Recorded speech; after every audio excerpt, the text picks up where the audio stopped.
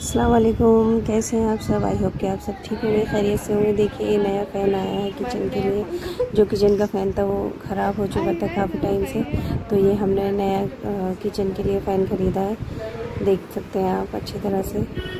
और ये शाम का खाना है, हमारा हम शाम का खाना खा रहे हैं अच्छे से गाइज़ आप लोग भी आइए, खाइए। और ये हमने सब बाहर से मंगाया था। घर में कुछ नहीं मंगाया था। मसाला चाप था और मलाई चाप था। और ये था मिक्स वेज जो कि हमारे बराबर के ही ढाबा है। यहाँ पे मिलते हैं और बहुत ही टेस्टी मिलता है। तो हम मम्मी के आए हुए हैं ना तो मैं वहीं पर हूँ अभी वहीं पे शूट कर रही हूँ। तो ये देखिए आप मलाई चाप मसाला चाप और ये आ, क्या बोलते हैं इसको मिक्स वेज और बच्चों ने भी बहुत अच्छे से खाया खुश हो पेट भर भर के मैं इनका ले नहीं रही हूँ। ये पागलों की तरह पागल हो रहे हैं कि आज बाहर का खाना मिल रहा है और वो भी सब्ज़ी मिल रही है। चलिए तो फिर उसके बाद खाया हमने फालूदा विद आइसक्रीम जो बहुत ही टेस्टी होता है, ये भी हमारे घर के नीचे ही भैया खड़े होते हैं। फालूदे वाले तो ये उन्हीं से ख़रीदा है हमने और शाम शाम को बनाया हमने, फिर ये जो बाहर के नहीं खाते ना बंदे, उनके लिए बनाया था हमने ये बीफ कीमा तो ये भून लिया है हमने और ये अच्छे से भून गया है और ये बहुत ही टेस्टी लग रहा है। देखने में भी और खाने में थोड़ा मसाला कम था तो मसाला ना अलग से भून के डाल दिया इसमें। लाल मिर्च, थोड़ा सा धनिया, हल्दी, गरम मसाला, थोड़ा थोड़ा, सारे गरम मसाले डाल दिए गए इसमें। और नमक, प्याज, सारी चीज़ें डाल दी गई हैं। फिर ये उबाले थे हमने थोड़े से चावल।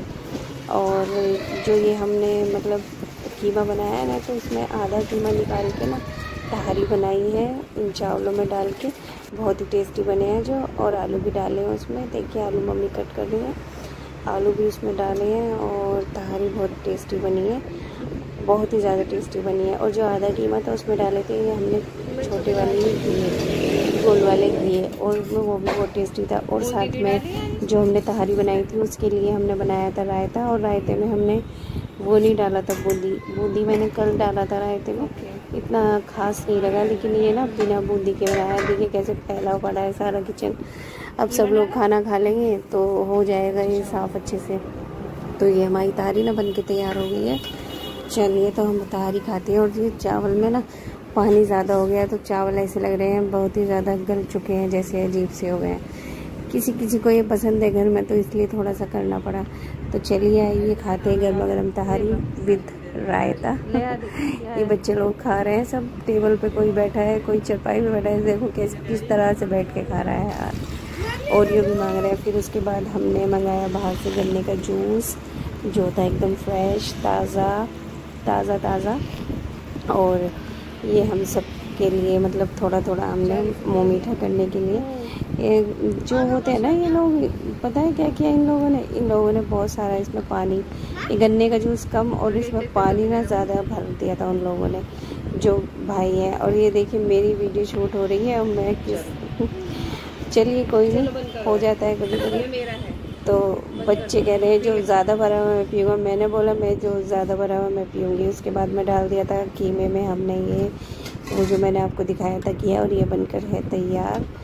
और ये हो गया हमारे शाम के लिए, जो बाहर का खाना नहीं खा रहा, वो उन सब के लिए है। चलिए तो थोड़ा सा खा लेते हैं और जो उसका तरी होती है ना, वो उसको निकाल के रख लेते हैं। किसी को बिना तरी के चाहिए या विदाउट तरी चाहिए, किसी को तरी चाहिए बहुत सारा तो वो डाल के खा सकते हैं अलग से। तो हम ना ऐसे ही करते हैं। किस किस के घर में होता है ऐसे? हमारे घर में तो ऐसे ही होता है। उसके बाद ये थोड़े से फ्रूट्स थे, जो मैंने कट करके खाए हैं। अनार को छीने में बड़ा आलस है गाइस बहुत ही आलस आता है। किस किस को आता है मुझे बताइएगा कमेंट्स में। और ये एप्पल थे। एप्पल तो आसानी से छिल जाता है आसानी से कट जाता है। और एंड किया था हमने अपनी आइसक्रीम पे जो पापा बच्चों को रात को दिला करके लाए थे। ये सबको सबको दिया जाता है। बच्चे सब खाते हैं हम लोग सब जितने भी घर में लेडीज़ जेंट्स सब जितने भी है सभी खाते हैं लगभग कोई ऐसा नहीं है बस पापा कभी कभी खाते हैं वरना वो नहीं खाते हैं रात में। तो ये हमने एंड किया था इस पर आई होप कि आपको पसंद आया होगा तो लाइक करें चैनल को सब्सक्राइब